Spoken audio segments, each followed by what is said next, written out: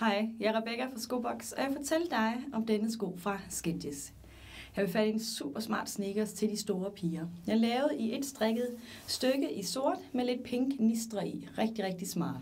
Lækre bløde memory foam såler indeni, der former sig efter foden, når man går. Og så den her enorm lette sål ned under bunden, der er fleksibel, stødeabsorberende og skøn at gå i. Det er en snøresko, så man kan tilpasse fodens bredde, og der er god fast helkappe. Har lyst til at vide mere om skoen, så spørg mig eller kig forbi.